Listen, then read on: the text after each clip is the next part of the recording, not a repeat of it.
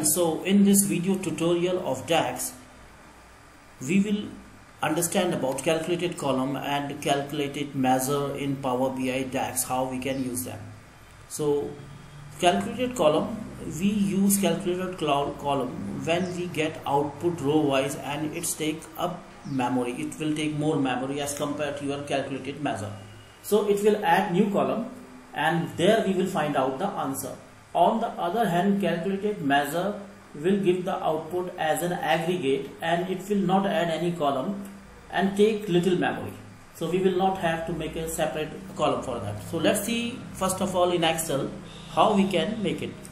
So to create in Excel, we already have a file where we have product, price and units. So if we want to add the sales here, I will put sales here and then put enter I will put equal to and just multiply this price with our unit we will get our total sales.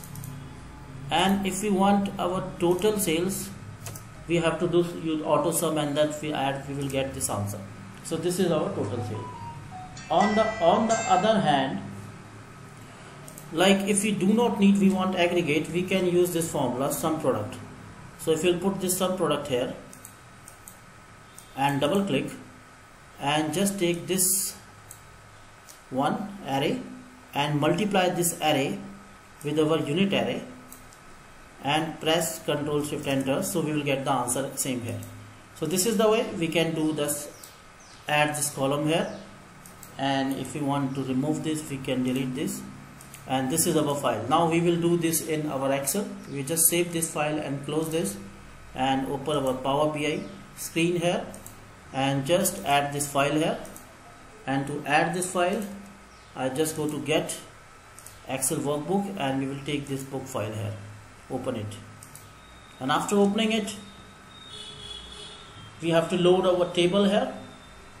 And that table we have some information like we have information such as your product price and units.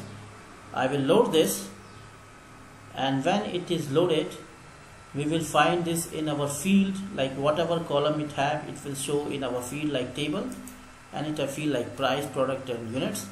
Then I will go to data and first of all we will do find out the sales here. So I will click over this and add a new column here.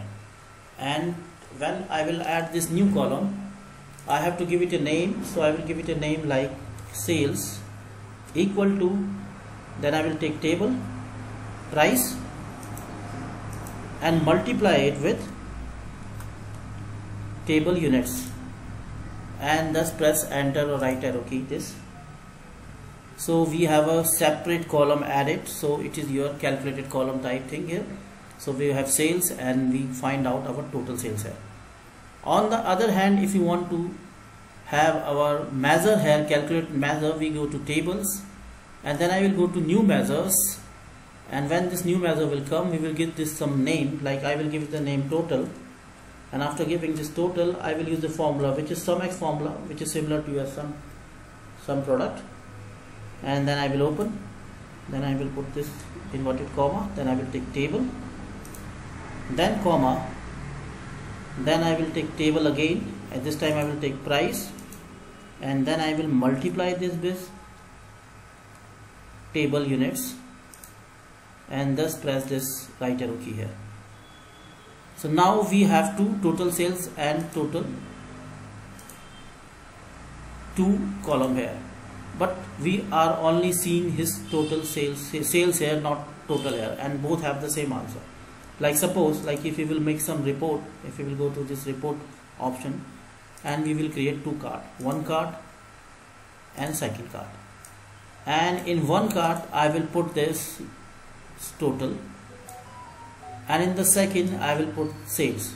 Now you will see the answer is the same.